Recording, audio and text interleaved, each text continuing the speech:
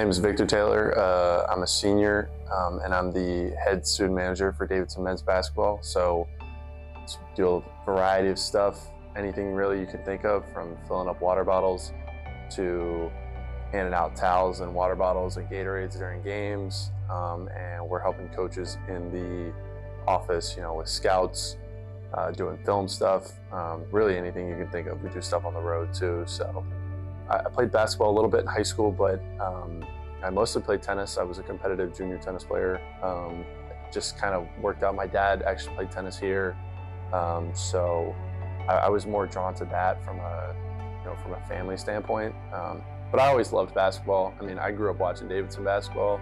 Uh, I was at, you know, the 2008 Gonzaga game in Raleigh.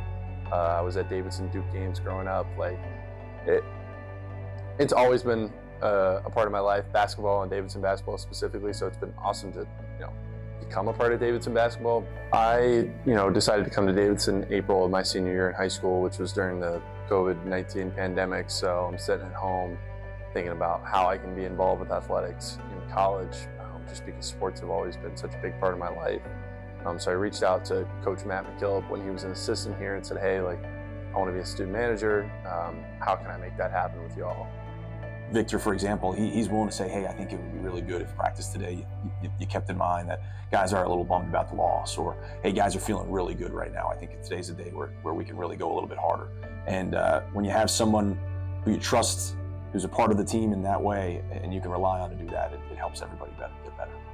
You know, part of it is that I've decided, uh, you know, I want to be a college coach, and this is, you know, the best way to advance my career path um, through that. But also, it's just the group of guys that we have here. Like this like I don't think I would come back if the players weren't such great people, the coaches weren't such great people, and the managers that we you know have weren't such great people. Like it's a joy to come in here every single day.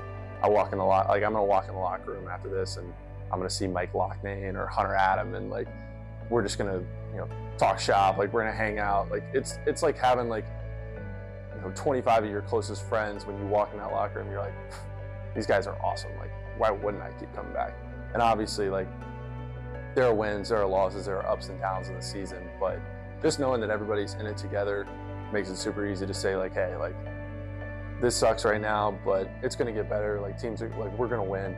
Um, these guys play hard. Like it's, it's great. It's, it's a joy to work for them.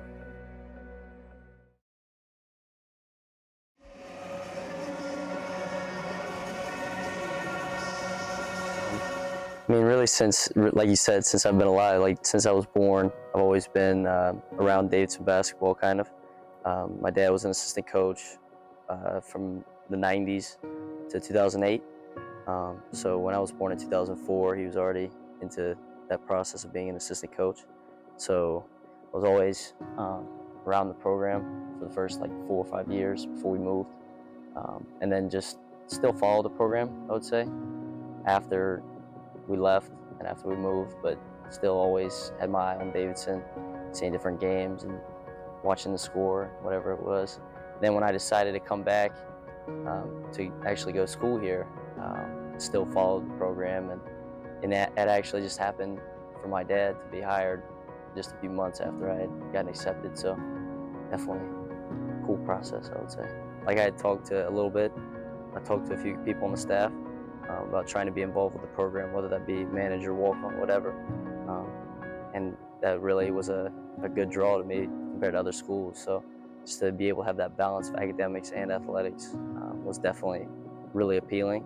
It also helps that the campus is beautiful, great town around, um, and also a place that I was comfortable with, as we talked about before. But Saz kind of taught me his ways when I first came in, but really just like from our role not having more of an impact like on the court, but still trying to have like an impact on the game, whether that be like trying to help remind guys of certain things they just talked about in the timeouts or just different like defenses that we talked about. Um, just trying to and just trying to encourage guys too when things are maybe going wrong or even when things are going right too.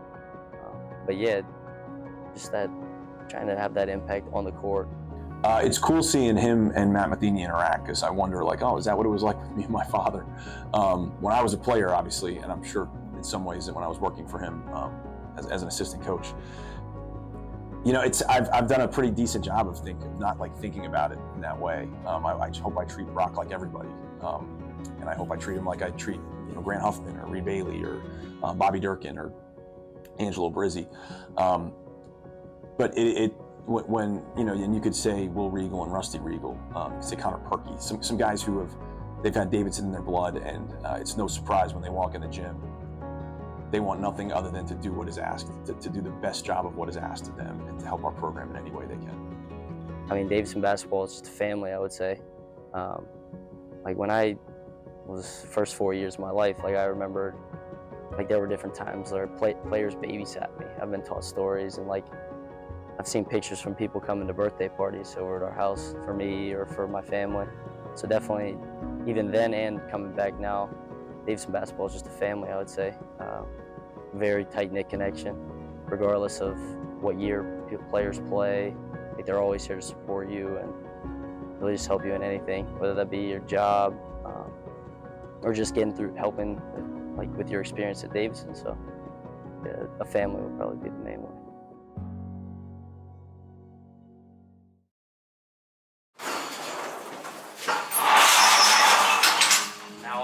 Adventure. I'm Justin King. I am the athletic trainer for the men's basketball team here at Davidson College. My role changes as the season changes, as what the guys required changes. So off season, um, it's a lot of prep work. It's a lot of laying a foundation. And I work with Coach Brian Seitz, who's amazing at what he does um, in the weight room. And so what I try to do is I try to do those things that maybe we can't focus all of our attention on um, in the weight room. So, for example, working on balance, mobility, and stability. We'll go out to Lake Campus here at Davidson and we will practice our balance and our stability um, on paddle boards. And we'll do paddleboard balance training. I'll have the guys do different mobility yoga poses, and then sometimes we'll even do like 360 jumps. And so those things help create a foundation for some of their physiological requirements that they're going to need in season. So as we move closer to in season, um, we'll take some of those same components and maybe shrink them down because our time and space becomes more limited. So, for example, on a game day, um, four hours before the game is our pregame meal. 15 minutes before that, every single game day since I've been here for the past six seasons, we do a mobility session. So we'll go through all of these different poses that um, you know, one, it's a way to prep their body for the game. Another thing that it does is that it's a screen.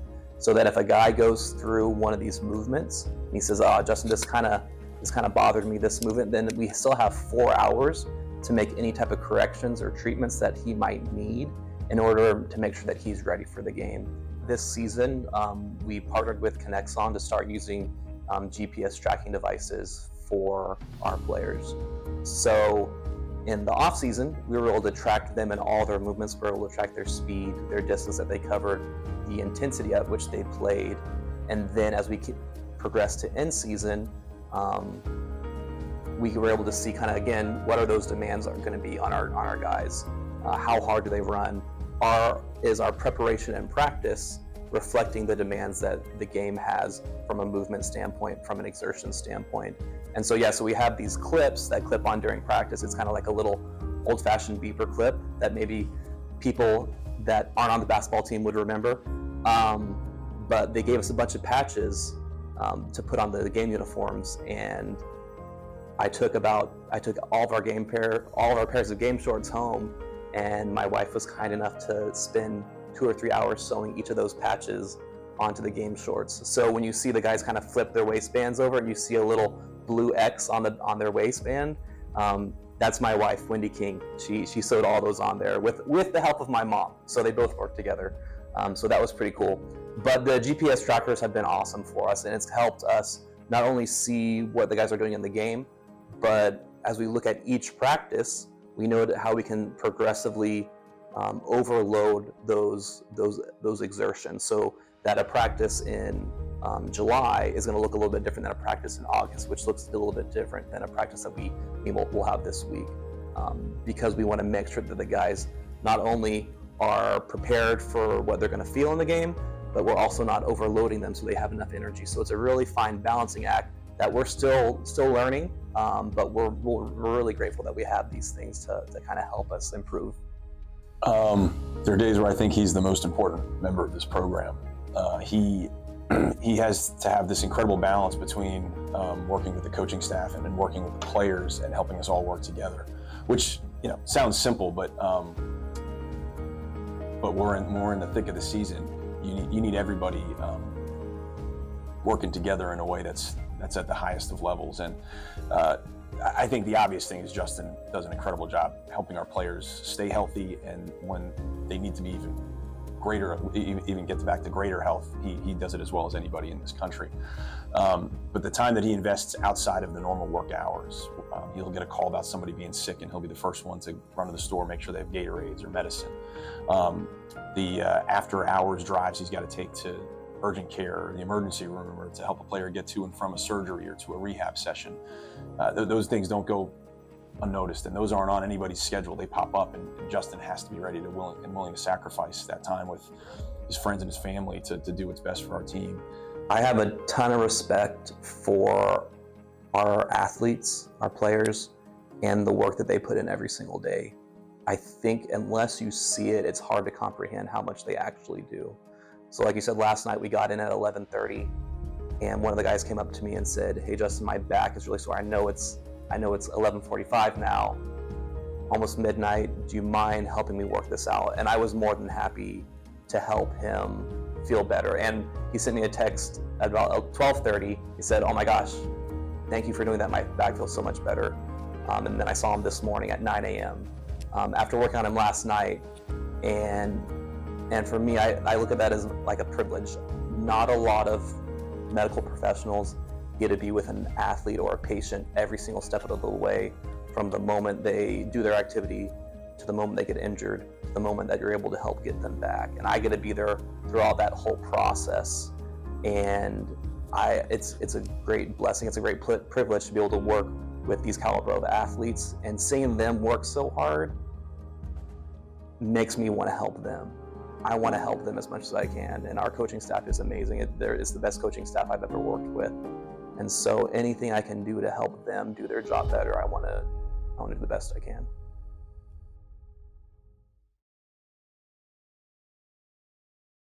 We, we have a team of fighters, and you don't fight unless you have character. You don't fight unless you have energy. And so much of that, that energy comes from everybody on this team. And I think I think our guys play for each other.